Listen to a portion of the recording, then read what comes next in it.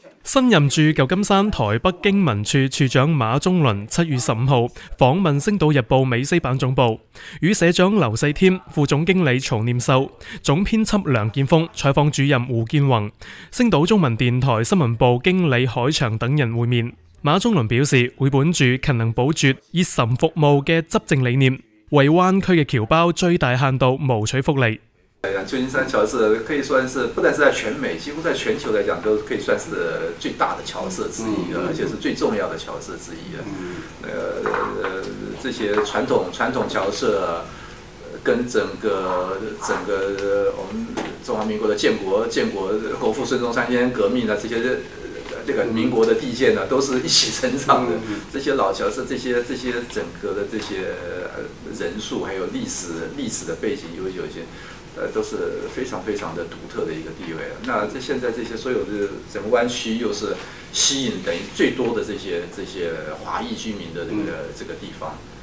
马中伦喺社长刘四添等人嘅带领下参观星岛办公大楼，对星岛多媒体嘅发展态势赞不绝口，仲为星岛国语台嘅听众录制咗问候词。